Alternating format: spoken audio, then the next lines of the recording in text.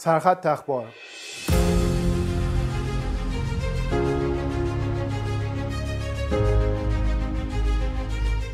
دیدار احمد مسعود رهبر جبهه مقاومت ملی افغانستان با معاون پارلمان روسیه در مسکو.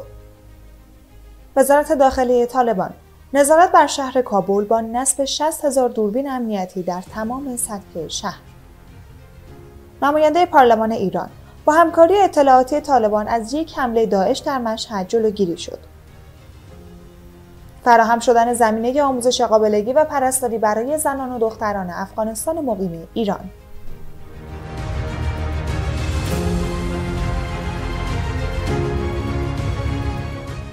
با سلام و احترامات نیک به بخش اخبار شامگاهی از تلویزیون همدم شما را خوش آمدید میگم با مرور بر مهمترین اخبار امروز چهارشنبه 8 سنبله 1402 در خدمت شما هستیم.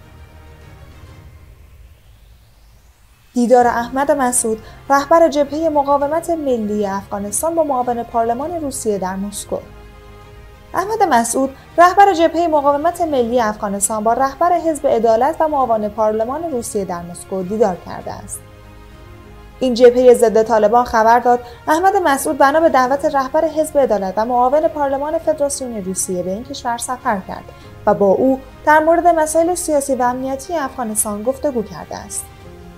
گفته شده هر دو طرف بر مبارزه با افراطیت و مواد مخدر استقلالیت افغانستان و ایجاد حکومت همه شمول برآمده از آرای مردم تاکید کردند.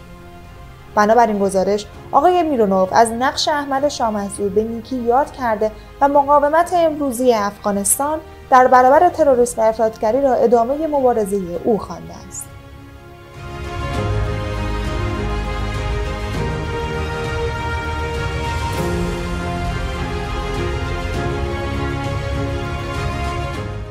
وزارت داخلی طالبان نظارت بر شهر کابل با نصب 60 هزار دوربین امنیتی در تمام سطح شهر حکومت طالبان با نصب 60 هزار کمره امنیتی تمام شهر کابل را تحت پوشش کامل قرار می دهد. طالبان می‌گوید با این طرح تمام مناطق پایتخت تحت نظارت قرار گرفته و در پیشگیری از جرایم فوق‌العاده موثر خواهد بود و شماری با این دوربین ها شناسایی و دستگیر کردند.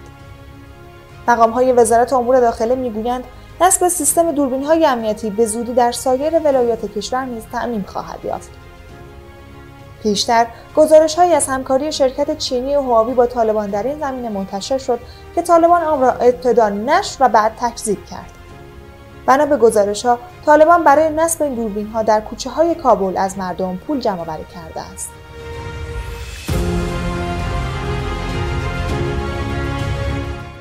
نماینده پارلمان ایران با همکاری اطلاعاتی طالبان از یک حمله داعش در مشهد جلوگیری شد.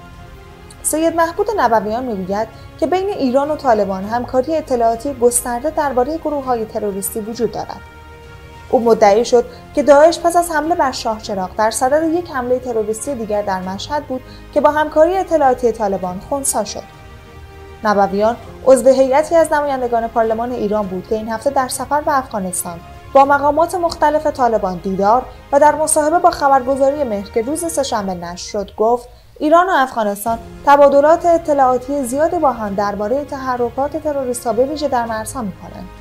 او افزود قرار بود داعش علاوه بر شاهچراغ اقدام تروریستی دیگری را در مشهد مقدس انجام دهد که با تبادل اطلاعاتی که بین ما و مقامات افغانستان انجام شد توانست نقشه دشمن را خنثی کنیم این مقام ایرانی مدعی برخورد جدی طالبان با داعشی هست و می‌گوید که طالبان تاکنون صدها داعشی را کشته و صدها تن دیگر را زندانی کرده است.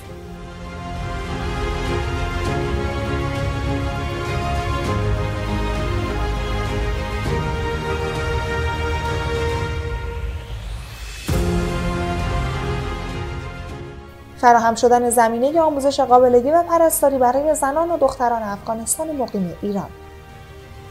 سخنگوی دبیرکل سازمان ملل متحد می‌گوید که صندوق جمعیت این سازمان در توافق با مسئولان صحی ایران قرار است که زمینه آموزش قابلگی و پرستاری را برای زنان و دختران افغانستان مقیم ایران فراهم کند. پیشتر حسین کاظمی قومی سرپرست سفارت ایران در کابل از عقد تفاهم نامه همکاری میان وزارت صحت و آموزش پزشکی ایران با صندوق جمعیت سازمان ملل متحد برای آموزش و ارتقای سطح مهارت تعدادی از پرستاران و قابله های افغانستان خبر داده بود.